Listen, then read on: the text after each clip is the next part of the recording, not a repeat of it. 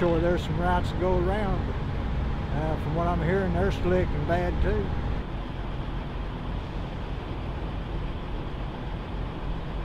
It has been uh, shut down 84 since Tuesday afternoon. You think a lot. you think about all the things that you could be doing other than sitting here and freezing.